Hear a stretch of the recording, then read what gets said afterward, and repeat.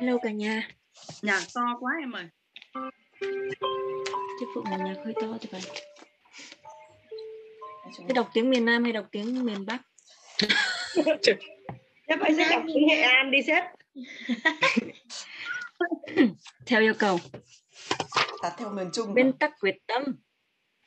Khi bạn chiến thắng, sẽ chẳng còn nỗi đau đớn nào. Đây là tiếng uh, Nghệ An rồi. Thì Yến bảo là đọc tiếng Nghệ An đi mà. Có một hình ảnh mà mọi người dân Mỹ không bao giờ quên. Đó là khi vận động viên có thể dùng dụng cụ. Kerry được huấn luyện viên Blena cùng 6 người đồng đội của cô kiệu lên buộc huy chương vàng trong Thế vận hội Olympic mùa hè năm 1996. Đó thật sự là một khoảnh khắc đáng nhớ. Lần đầu tiên trong lịch sử một đội thể dục dùng ờ, uh, dụng cụ nữ của Mỹ giành được huy chương vàng. Nhưng đó không phải là điều làm người ta nhớ về nó. Mặc dù mọi người đều rất ấn tượng về hình ảnh cô gái nhỏ chỉ nặng 40 kg được huấn luyện viên thể dục dụng cụ xuất sắc nhất trong mọi thời đại ôm ghi trong lòng. Nhưng điều đáng nhớ hơn là cả nó gợi lên hình ảnh với uh, mới của cô gái gọi là nguyên tắc quyết tâm. Lần đầu tiên cho đội, ngay cả khi không nhìn thấy hình ảnh này trên TV, bạn cũng có thể hiểu câu chuyện này. Trong môn thể thao được coi là ưu thế của các đội Nga và Runami, đội Mỹ thật sự đã vượt lên lần đầu tiên trong suốt kỳ thi Olympic. Đội tuyển Nga khởi đầu rất tốt, nhưng qua vòng đầu tiên, đội Mỹ đã vượt lên. Khi mỗi vận động viên kết thúc một phần thi, đội Mỹ tiếp tục giành ưu thế. Không phải lúc nào họ cũng dẫn đầu, nhưng phong độ của họ rất uh, ổn định. Khi các đội tiến tới phần thi cuối cùng, nội dung tự do đối với đội Nga và nhảy ngựa đối với đội Mỹ, tất cả những người Mỹ phải làm hoàn thành phần thi và giành huy chương.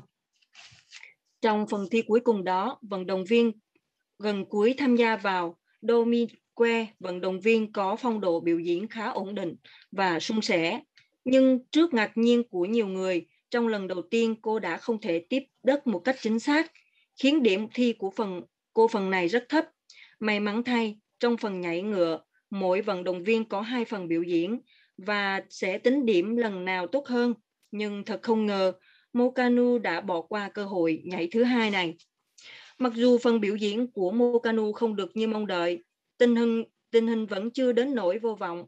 Đội Mỹ vẫn còn hy vọng. Họ vẫn còn một vận động viên cuối cùng, Kerry Strung, cô gái đã nhận những điểm số cao nhất trong phần thi nhảy ngựa của đội Mỹ. Chị, chị cô vẫn biểu diễn phần thi của mình tốt. Huy chương vàng sẽ là của họ. Tuy nhiên, lần nhảy thứ nhất cô bị trượt chân và ngã tệ. Tệ hơn cô còn bị chấn thương trong khi vẫn phải tiếp tục hoàn thành phần thi.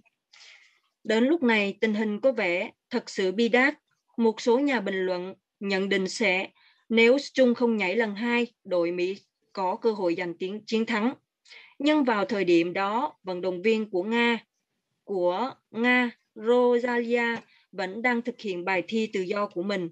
Huấn luyện viên của Mỹ, Blena, lo ngại số điểm cao nhất của đội Nga sẽ mang về số chiến thắng tuyệt vời, tuyệt đối cho đội này. Trung biết cô phải làm gì. Cô biết cô phải hoàn thành bài thi, thực hiện những nỗ lực cuối cùng trong phần thi cuối cùng của một bộ môn thể dục dụng cụ nữ. Hãy cho tôi xem bài thi cuối cùng của em. Calori khuyến khích. Hãy cho tôi hãy cho tôi xem một phần biểu diễn cuối cùng thật tốt. Đối với Trung, đây không phải là lần đầu tiên. Mọi vận động viên giành được vị trí cao nhất đều biết chơi trong đau đớn, cảm giác như thế nào. Kerry Trung cũng vậy. Bên cạnh áp lực của toàn đội, những chỗ bong gân, thâm tím, sức khỏe của cô cũng hoàn toàn đảm bảo vì vừa hồi phục à, sức khỏe của cô cũng chưa hoàn toàn đảm bảo vì vừa hồi phục từ chấn thương bụng và lưng nghiêm trọng do ngã từ xà kép. Caroli đã nói về cô. Đó là một cô gái nhỏ bé, nhút nhát, lúc nào cũng đứng sau một người, nhưng khi cần cô lại quyết tâm phi thường. Mỗi vận động viên chỉ có 50 giây để hoàn thành phần thi nhảy ngựa thứ hai sau khi điểm lần đầu tiên được công bố. Lúc đó Trung cố hết sức tập tập trung. Sau này cô nhớ lại, tôi biết có có điều gì đó không ổn. Tôi thấy đau đớn. Tôi tự nhủ, mình không được ngã xuống nếu không có huy chương vàng. sẽ tan thành mây khói và tất cả nỗ lực sẽ sụp đổ trong vài giây. Tôi cầu nguyện Chúa giúp tôi.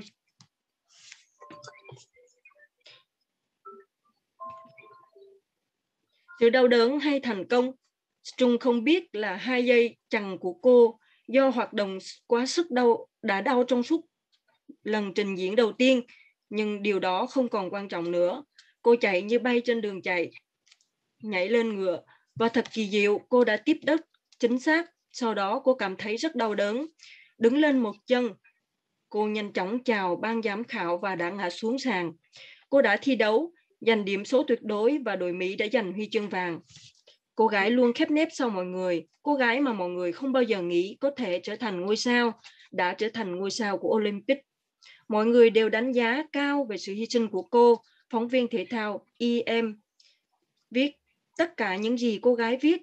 Cô gái biết sau khi biết rằng chiếc huy chương vàng đã nằm chắc trong tay là cô bị chấn thương nghiêm trọng đến nỗi không thể hoàn thành phần thi cá nhân hai ngày sau đó.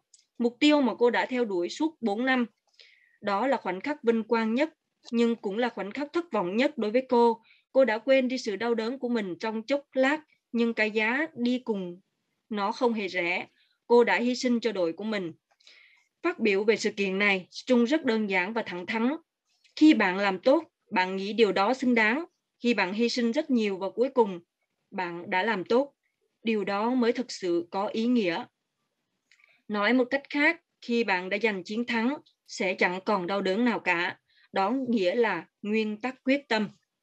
Đưa đội mình tiến xa hơn.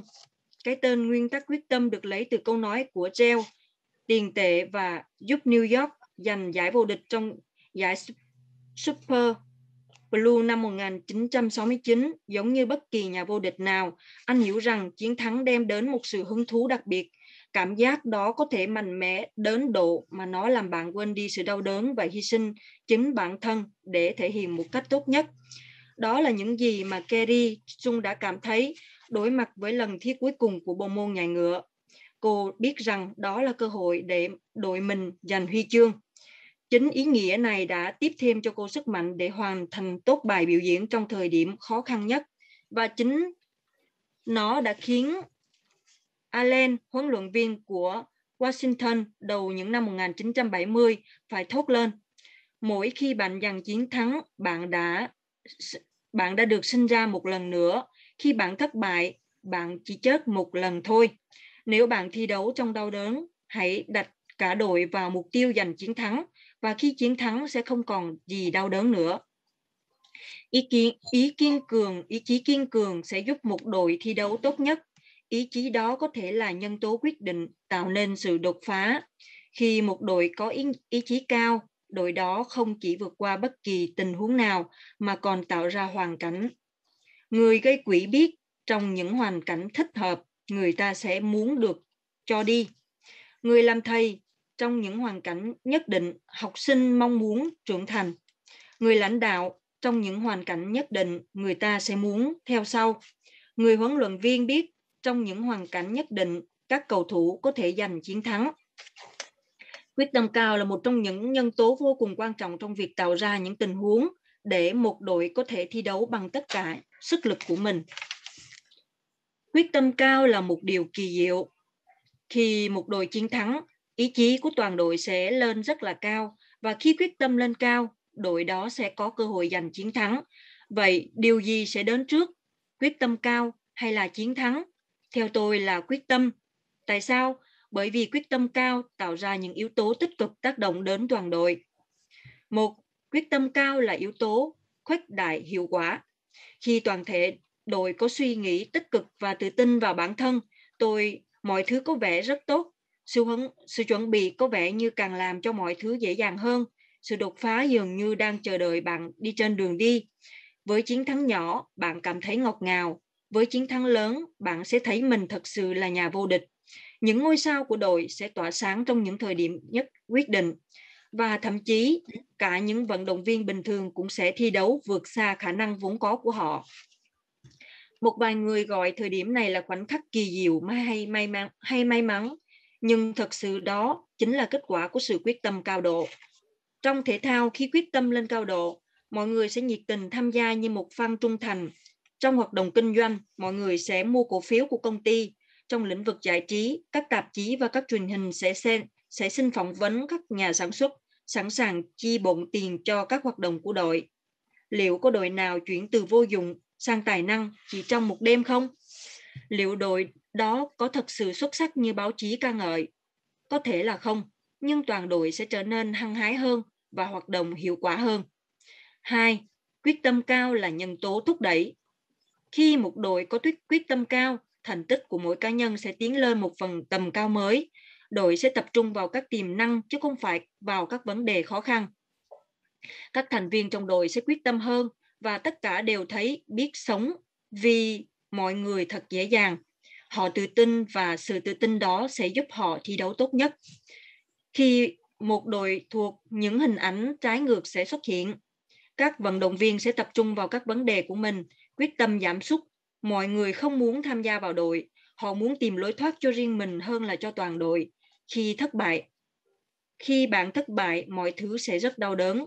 3. Quyết tâm cao đem lại năng lượng. Quyết tâm cao đem đến năng lượng cho cả đội. Các vận động viên sẽ như một chú thỏ chạy bằng pin, cứ chạy và chạy. Không có ngọn núi nào là quá cao, không có dự án nào là quá khó, không có chặng đua nào là quá dài. Sự nhiệt tình đó cũng do sự nhiệt tình cũng do đó mà hình thành và cả đội sẽ có một nguồn năng lượng dồi dào, không bao giờ cạn. 4. Quyết tâm cao giúp bạn loại bỏ khó khăn do những động lực là và nguồn năng lượng cùng đi. Lòng quyết tâm giống như một quả pin, nếu như những nội những đội thất bại và trải qua thời kỳ quyết tâm xuống thấp có thể bị tổn thương khi gặp những gặp khi phải gặp những vấn đề nhỏ nhặt nhất thì những đội có quyết tâm cao vẫn đi đúng hướng ngay khi cả vấp phải những chướng ngại vật lớn. Các vấn đề dường như biến mất trong, cho dù nó khó khăn đến đâu. Năm, quyết tâm cao là sự giải phóng. Một điều nữa là quyết tâm cao làm được cho mọi một đội ờ, một đội đó phải giải phóng tinh thần cho đội. Chiến thắng sẽ tạo ra một không khí sôi nổi mới ở khắp nơi.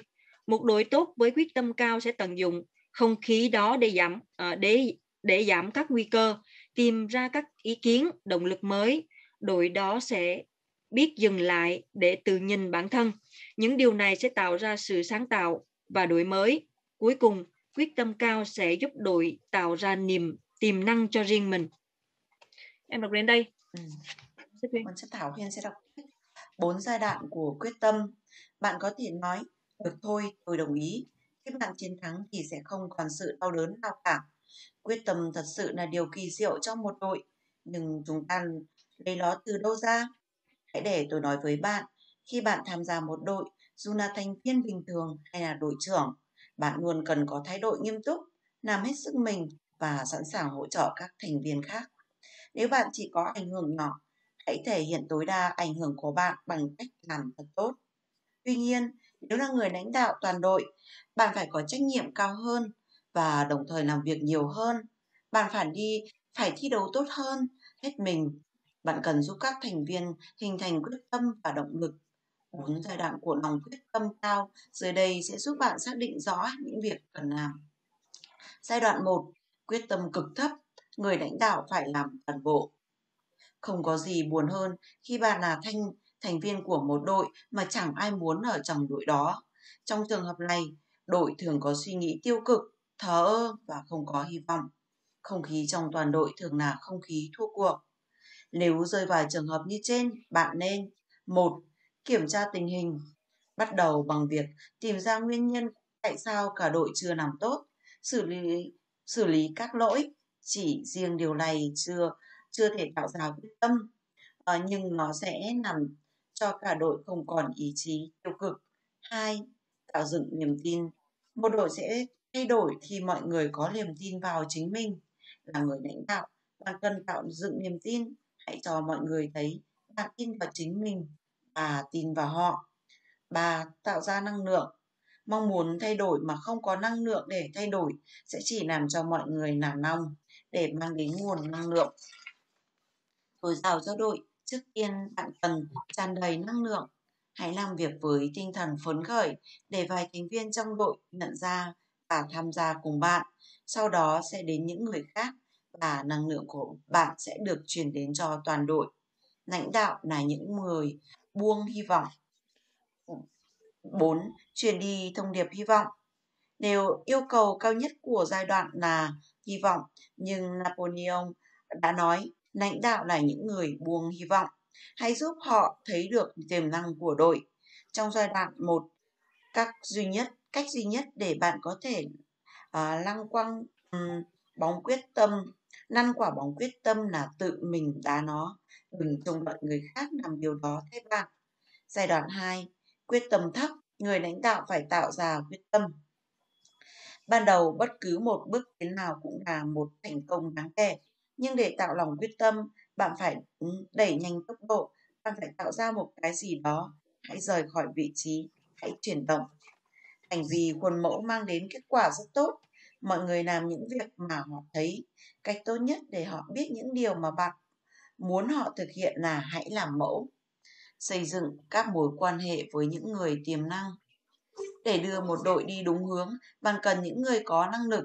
Nếu trong đội của bạn những thành viên như thế, hãy tạo dựng các mối quan hệ với họ. Nếu không, hãy tìm những người có tiềm năng để đào tạo quan hệ đừng vội vàng đòi hỏi quá nhiều. Nhà lãnh đạo phải chiếm được cảm tình trước khi muốn nhờ người đó giúp đỡ. Đó là lý do bạn nên tạo dựng các mối quan hệ. Tạo ra những chiến thắng nhỏ và nói chuyện với những người đồng đội thông qua chúng. Không gì giúp con người xây dựng các kỹ năng và sự tự tin tốt bằng một vài chiến thắng do chính họ. Đó là những gì bạn cần làm cho đội của mình. Một lần nữa hãy bắt tay với những người có nhiều tiềm năng nhất. Thành công của họ sẽ giúp các thành viên khác tự tin hơn. Truyền đi thông điệp tầm nhìn. Như tôi đã giải thích trong nguyên tắc chiết na ban tầm nhìn sẽ mang đến cho các thành viên hướng đi đúng và sự tự tin, hay giữ cho tầm nhìn luôn là kim, chỉ nằm cho đội. Giai đoạn 3 quyết tâm vừa phải. Người lãnh đạo giải quyết những việc khó khăn. Bạn có nhớ uh, bạn cảm giác của mình khi lần đầu tiên cầm tấm bảng lái xe trên tay. Có thể trước đó bạn chỉ an phận ngồi sau tay lái với à, và tưởng tượng lái xe sẽ như thế nào khi bạn có bảng lái xe và được lái tự do. Công việc lái xe dường như là một chiếc chuyến phiêu lưu, không quan trọng là bạn đi đâu. Nhưng khi bạn trưởng thành, lái xe không không thôi là chưa đủ. Điều quan trọng là bạn phải biết đích đến của mình. Với một đội cũng vậy, tập hợp mọi người và đạt được một thành tựu nhất định là một chuyện, nhưng bạn sẽ đạt được đến đâu? Để thay đổi từ việc dẫn dắt một đội đi tiếp đến việc làm cho nó đi đúng hướng, bạn phải là những việc vô cùng khó khăn. Bạn cần một đưa ra những thay đổi giúp đội mình tốt lên. Bạn đã hiểu rõ nguyên tắc chuỗi liên kết. Hãy nhớ rằng người lãnh đạo là người chịu trách nhiệm giải thiểu những thiệt hại mà một đội có thể gây ra do, do yếu điểm hoặc thái độ và có trách nhiệm phát huy tối đa hiệu quả của tất cả các thành viên bằng cách đặt họ vào đúng vị trí thích hợp. Thường thì những hành động này sẽ đi kèm với những quyết định cứng rắn. Hai, đưa các được các thành viên tin cậy. Đó là một cách để tạo dựng tầm nhìn cho đội và cũng để thành viên tham gia vào đội để xây dựng được lòng quyết tâm, tất nhiên bạn phải làm điều này. Các thành viên phải tin tưởng vào người đứng đầu, xây dựng giá trị và thực hiện nhiệm vụ chung của đội, cũng như nhiệm vụ của cá nhân. Nếu có thể làm được tất cả những điều này, bạn sẽ đưa đội của mình à, cán đích thành công. 3. Chuyển đi cam kết Một phần của quá trình đưa mọi người tham gia vào đội đó là cho họ thấy cam kết của bạn Nguyên tắc tin cậy trong 21 nguyên tắc vàng của nghệ thuật lãnh đạo phát biểu. Mọi người tin cậy nhà lãnh đạo trước khi tin cậy tầm nhìn. Nếu bạn có khả năng thuyết phục, phẩm chất tốt và những cam kết mạnh mẽ, bạn sẽ tạo được một nền tảng cho cả các đồng đội của mình tham gia vào cùng với bạn. 4. Tạo dựng và trang bị cho các thành viên bằng sự thành công. Không có gì tạo nên lòng quyết tâm nhiều như thành công hầu hết mọi người đều không thể tự mình thành công họ cần được giúp đỡ và đó là một trong những lý do khiến họ cần những người dẫn đường nếu bạn tin vào đồng đội bạn hãy giúp họ và đội của bạn nó sẽ thành công. Hai giai đoạn khó khăn nhất khi xây dựng một đội chính là hai giai đoạn đầu khi bạn cố gắng tạo ra những biến đổi trong một đội và đã đội đang trì trệ. Và ở giai đoạn thứ ba, bạn phải trở thành các tác nhân thay đổi. Có những khi có những khi vai trò của những người lãnh đạo là um, tuyệt đối cần thiết và giai đoạn 3 là giai đoạn quyết định cho sự thành bại của người lãnh đạo. Nếu bạn thành công ở giai đoạn 3, bạn có thể tạo ra lòng quyết tâm dò toàn đội. Giai đoạn 4, quyết tâm cao. Người lãnh đạo chỉ làm những việc nhỏ. Trong giai đoạn này, công việc của người lãnh đạo như bạn là giúp đội duy trì quyết tâm và động lực cao. Một, giúp toàn đội tập trung vào hướng đi của mình. Quyết tâm cao sẽ mang lại chiến thắng và chiến thắng duy trì lòng quyết tâm. Đó là lý do vì sao giữa toàn đội à, tập trung là rất quan trọng. Nếu các thành viên mất tập trung, đội sẽ khó lòng giành chiến thắng. Hãy nhớ, khi bạn dự định đi càng xa, hậu quả của việc đi lệch hướng càng nghiêm trọng. Nếu bạn muốn đi qua đường, lệch hướng vào đội sẽ không ảnh hưởng gì, nhưng nếu bạn muốn vượt đại dương, tính toán sai vài độ có thể khiến bạn gặp rắc rối lớn. 2. Chuyển đi thành công. Khi biết những gì mình đang làm là đúng, người ta luôn đi đúng hướng. Bạn có thể chỉ ra điều này bằng cách chuyển đi những thành công của đội. Không có gì thúc đẩy quyết tâm cao bằng chiến thắng. 3. Loại bỏ những vật cản lòng quyết tâm. Khi đội của bạn đã đi đúng hướng, đúng đường thì nó sẽ tiếp tục đi đúng đường. Nguyên tắc động lực trong 21 nguyên tắc vàng của nghệ thuật lãnh đạo có nói, động lực là động lực tốt nhất của người lãnh đạo. Những người lãnh đạo nhìn thấy nhiều thứ trước những người khác cho nên họ cần có bảo vệ đội của mình khỏi những điều sẽ gây tổn hại cho đồng đội. 4. Tạo cơ hội để các thành viên phát huy khả năng lãnh đạo. Để tạo cơ hội cho các thành viên trong nhóm phát huy được khả năng lãnh đạo, người trưởng nhóm cần làm được hai điều. Thứ nhất, người trưởng nhóm phải sử dụng động lực sẵn có trong đội để tạo nên những người lãnh đạo mới. Việc giúp những nhà lãnh đạo uh, mới thành công hơn sẽ dễ dàng hơn nếu họ là một phần của đội thành công. Thứ hai, người trưởng nhóm phải mở rộng được vòng tròn lãnh đạo trong nhóm. Điều này sẽ giúp nhóm thành công hơn. Một nhà lãnh đạo thường xuyên tạo điều kiện để các thành viên phát huy khả năng lãnh đạo sẽ tạo ra vòng tròn thành công củng cố quyết tâm trò của nhóm. Quá trình xây dựng lòng quyết tâm đòi sự lãnh đạo mạnh mẽ và cả thời gian. Tổng thống Jonan ờ, Teran đã là một ví dụ điển hình cho điều này. Khi ông lên nắm chính quyền vào năm 1981, đất nước hầu như đang ở trong tình trạng tinh thần của người dân suy sụp do cuộc đại khủng hoảng. Người dân hoàn toàn mất niềm tin vào chính quyền sau vụ Watergate Nguy cơ chiến tranh hạt nhân với Liên Xô luôn thường trực trong suy nghĩ của họ. Lạm phát nằm ngoài tầm kiểm soát, giá dầu tăng cao, lãi suất cao, kỷ lục, người dân chưa bao giờ tuyệt vọng như vậy. Uh, Jordan đã giúp mọi người lấy lại niềm tin vào đất nước dưới sự lãnh đạo của ông.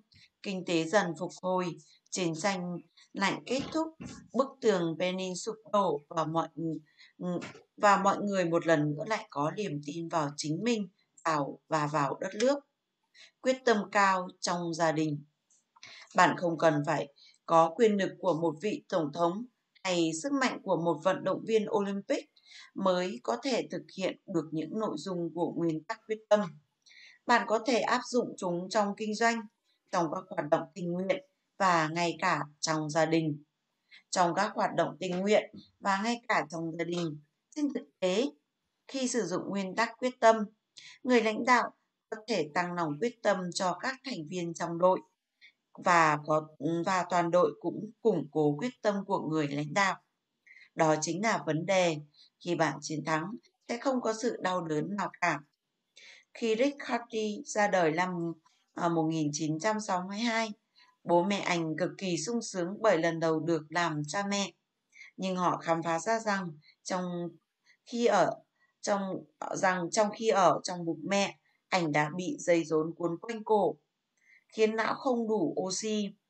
Rick được chẩn đoán là khi mắc chứng liệt lão bố của Rick nhớ lại Khi nó được ừ, 8 tháng tuổi, bác sĩ nói với chúng tôi nên bỏ nó đi vì nó sẽ phải sống cho sống đời sống thực vật suốt đời. Nhưng bố mẹ Rick không làm như vậy. Họ quyết định rằng vẫn giữ lại anh. Cả gia đình đã phải đương đầu với rất nhiều khó khăn. Rick không thể điều khiển được lưỡi của mình, vì vậy anh nói rất khó. Nhưng bố mẹ Rick vẫn dạy anh mọi thứ, cho anh tham gia tất cả các hoạt động của gia đình. Khi Rick 10 tuổi, cuộc đời anh đã thay đổi. Một kỹ sư của Đại học Truth đã chế tạo được một thiết bị giúp anh giao tiếp thông qua máy tính. Từ đầu tiên mà anh nói ra một cách chậm chạp với rất nhiều đau đớn là tiến lên Bridging. Khi đó gia đình anh, những người ủng hộ Rich Bolton tranh vé vớt, phát hiện ra anh là một fan hâm mộ của thể thao năm 1975. Sau một cuộc đấu tranh dài, gia đình anh cuối cùng cũng đã có thể cho anh đi, đi học. Đây chính là lời Rick đã chứng tỏ sự xuất sắc của mình, bất chấp những hạn chế về sinh lý. Thế giới của anh đã thay đổi và thậm chí thay đổi hoàn toàn hai năm sau đó khi Rick phát hiện ra một cuộc đua gây quỹ nhằm giúp một vận động viên trẻ bị liệt trong một vụ tai nạn. Anh đã đóng góp ý với gia đình anh muốn tham gia cuộc đua này. Đích một đại tá của không được um, Hoa Kỳ ở tuổi gần 60 nhưng vẫn không đồng ý, chạy cùng với con. Ông đặt con trai vào một chiếc xe lăn khi họ vượt qua vật đích. Đích nhớ lại, Đích đã mỉm cười rạng rỡ, một nụ cười tươi. Nhất một nụ cười tươi nhất mà bạn được nhìn thấy trong cuộc đời. Sau đua, Rick chỉ nói một câu rất đơn giản. Bố, con cảm thấy như mình không thể bị tàn tật. Sau hôm đó, cuộc sống của họ không bao giờ như trước nữa. Cùng nhau chung sức, một người cha sẽ làm gì khi con trai mình, một người chưa bao giờ thoát khỏi chiếc xe lăn. Nó muốn tham gia cuộc thi chạy marathon. Người cha sẽ trở thành đôi tay và đôi chân của con. Đó là ngày Tim hot ra đời.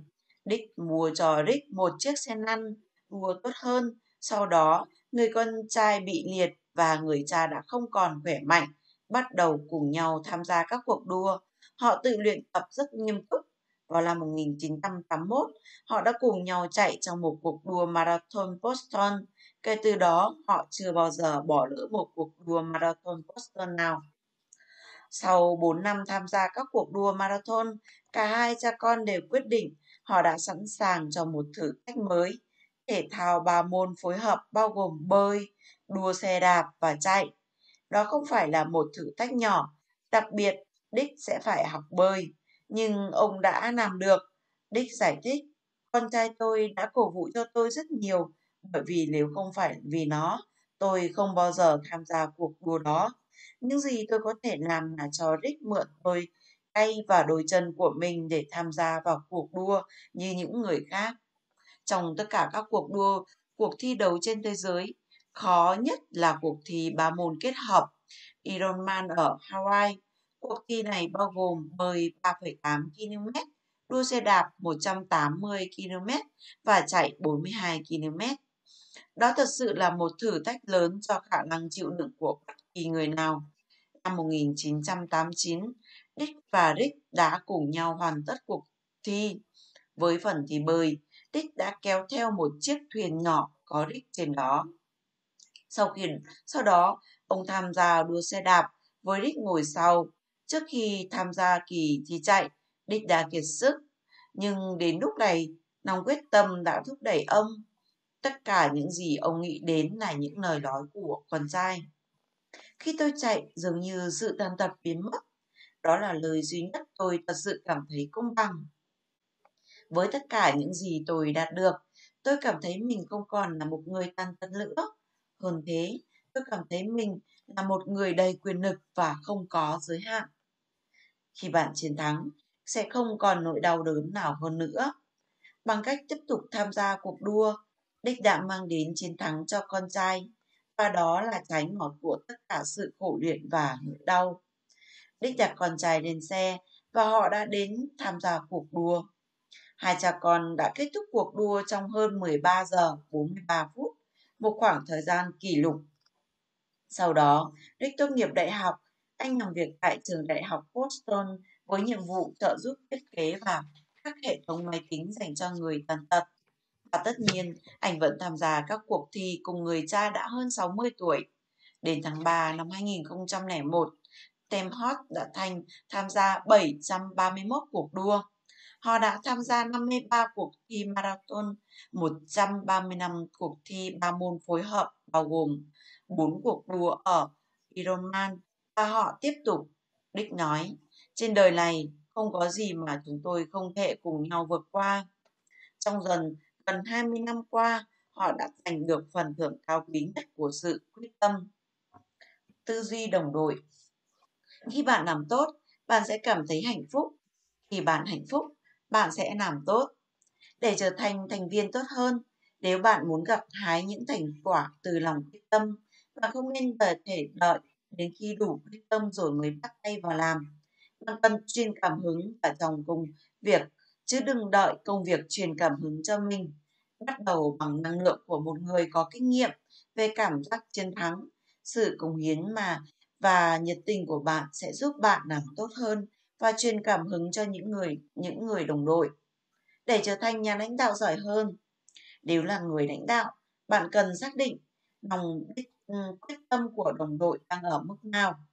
Quyết tâm cực thấp sẽ dẫn đến đội bạn càng bế tắc quyết tâm thấp thì khi đó đội bạn có một vài tiến bộ, nhưng chưa liên kết chặt chẽ và đủ tự tin. Quyết tâm vừa phải đồng nghĩa, đội đang chiến thắng và tiếp tục tin vào chính mình nhưng cần đưa ra những quyết định khó khăn để đưa lên một bậc cao hơn. Quyết tâm cao đồng nghĩa đội đang trình diễn những tiềm năng mà mình có, luôn giành chiến thắng và chỉ cần giữ đúng hướng. Khi đã quyết định được tình trạng hiện tại của đội, hãy áp dụng những chỉ dẫn để có thể đưa đội của mình lên một tầm cao mới. Xin hết ạ. Cảm ơn chị Huyền. Rồi dài nhờ. Ừ, hôm rồi nay quá. hôm nay, hai giọng đọc. Đọc hai giọng đọc xong chắc cũng một hơi đúng không? Hôm nay dài thật đấy cái chương này. Hai giọng đọc hay quá mà sao mà xếp thảo giọng đọc giọng của ai nhỉ miền Nam Theo giọng của chị Hằng đó. Veronica đọc mình mới vô mình nghe giọng ai vậy ta em yêu cầu. Sáu rưỡi rồi. Là chụp ảnh nào. Chiến chị Huyên có phát biểu được không? Theo yêu cầu của khán giả đọc xong là hết đúng rồi này mới nào. vào nhìn thấy sếp thảo đang đọc mà không biết tiếng của ai Nè, Tất Thảo rồi xếp. đúng không Xong rồi, xong rồi. rồi cảm ơn các sếp với chị Huyên có phát biểu được không ừ. Ờ, để thế thì để Huyên nói ngắn gọn này. Ở trong cái phần nói nói chủ yếu 16 của chúng ta chương 16 này là chúng ta nói về lòng Ờ, uh, gì quyết tâm đúng không nguyên tắc quyết tâm đúng rồi làm cái gì cũng vậy thôi ừ. nếu mà không có sự quyết tâm không có sự kiên trì thì chúng ta cũng không có làm được gì cả thì nguyên Huyên đọc mà Huyên đọc đến cái đoạn mà ờ, hai cha con á ờ, là nước mắt bắt đầu là muốn là dưng dưng rồi đó mà nó tìm lại ừ. vì uh, cảm thấy rằng là nếu mà con với cái ý chí mong muốn của con mà không có sự quyết tâm của người bố thì cũng không thành công cũng giống người bố ở đây cũng giống như là một cái người lãnh đạo vậy ừ. người lãnh đạo mà không có cái quyết tâm không ở trong này có cái phần là chúng ta phải làm đó là chúng ta phải làm gương ừ. à, giống như sư phượng vẫn nói là có giảng về lãnh đạo và lãnh đạo có gì đâu cứ làm gương thôi đúng không ạ à, làm gương là được rồi à, có cái gì quan trọng đâu đúng không ạ? Là mình phải làm gương trước nếu mà muốn trở thành một ừ. giống như trong ở trong ASEAN vậy chúng ta muốn đội nhóm của chúng ta phát triển à, muốn mở rộng à, thì cái gì chúng ta cái người lãnh đạo là phải làm gương. Lý do mà sao mà chị Hải Yến bảo là phải ép buộc phải dậy sớm như vậy đấy. Yến xin đến đây là hết ạ. Ừ. Ok xin chân thành cảm ơn à, uh, Thuyên và Hải Yến uh, cũng xin uh, uh, trong đoạn của sếp Thảo nói thì Hải Yến cảm thấy thấm là cái cái lòng quyết tâm là sẽ đưa đội nhóm đi xa. Ừ. Đúng thật là trong công việc nhiều cái nó sẽ có khó khăn. Thế nhưng mà nếu như sếp Phượng sếp Thảo và những lãnh đạo ở đây mà không có một cái lòng quyết tâm của nó thì đến ngày hôm nay tim của mình sẽ không được như thế này thấy tim mình vào đọc sách. Thấy tim của chúng ta là liên tục rèn luyện, rèn rũa bản thân của mình. Chắc chắn không phải ngồi đây không phải chỉ mình yến khóc đâu. Hôm nay ở sếp phượng xếp thảo, sếp huyên, những người đi đầu tiên ấy, nhìn thấy cái điều này à và cảm thấy là tim của mình càng ngày càng lớn, thì cái niềm hạnh phúc ấy, nó luôn luôn dâng trào. Và hải yến còn thấy là thấm ở cái điều là quyết tâm sẽ tự mang đến năng lượng. Ờ, trong yeah. trong vấn đề của chúng ta uh, làm ấy nó sẽ có nhiều vật cản nó có sẽ nhiều cái khó khăn. Thế nhưng mà đúng thực sự là chỉ có cái quyết tâm đó cái niềm tin đó của mình có thì nó mới tự tạo ra năng lượng từ trong mình đi ra thôi. À, nếu như trong cái thời điểm này thực sự là rất là khó khăn là bởi vì là à, những thành viên mới vào mà chưa nhận được hàng rồi là uh, các các tuyến trên của mình làm việc bây giờ là trong 35 rồi. Bây giờ 35 mà còn bị cháy hàng thì đồng nghĩa việc là cái vật vật cản đấy đối với lại tuyến dưới hoặc là đối với những người lãnh đạo nó là một cái rất là lớn. Thế nhưng mà làm sao mà sếp vượng sếp thảo vẫn có cái năng lượng để cho đội nhóm dẫn dắt được đội nhóm vẫn ờ, đưa cho đội nhóm những cái cách giải quyết mà thực sự là mang tính chất là bình tĩnh. Cái đấy là hải yến thấy là uh, ở đây là chúng ta cần phải quyết tâm hơn nữa. Cần phải có cái lòng quyết tâm. Nó là vừa rồi nó là nguyên tắc đúng không ạ? Ờ, cái này có khi đưa vào nguyên tắc. Đưa vào nguyên tắc soạn thảo như hôm nọ cùng anh thảo để làm nguyên tắc ừ, của silly đó ừ. thế có khi nào đợt tới các sếp đưa vào nguyên tắc quyết tâm. Ừ. và quyết tâm cao sẽ lại mang lại chiến thắng cho đội. Ừ. Ờ, cái này nghe có có thấm không ạ? Ừ. Yến thấy rằng là đúng thực sự. Ừ. Mọi vấn đề à, mọi công việc à, mọi khó khăn thì chúng ta có đều có cách để giải quyết. Thế nhưng mà nếu như chúng ta không quyết tâm cao thì nó sẽ chỉ dừng lại ở một điểm thôi như hôm nay cái bài này sẽ thảo đọc là cho yến nghe sao? Em đang đọc cho em nghe. Và để mang lại chiến thắng cho đội thì đồng nghĩa với việc là nghiêm túc làm việc một cách nghiêm túc làm việc hết mình kể cả những người bình thường chứ chưa nói đến lãnh đạo. Ừ, cái này thì cực kỳ là hãy yến thấm này. À, thấy rằng là đúng là lãnh đạo lãnh đạo thì trọng trách trách nhiệm nó phải nặng hơn.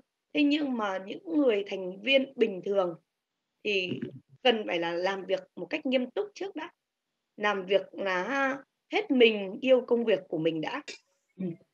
Ờ, cái câu cái cái cái cái, cái quyển này hay quá mà yến không không có sách ở đây. Sorry sếp yến ờ, rồi. À, cảm ơn các sếp để đến viên my yến phát ra cô giáo đang dục menarik. Menarik.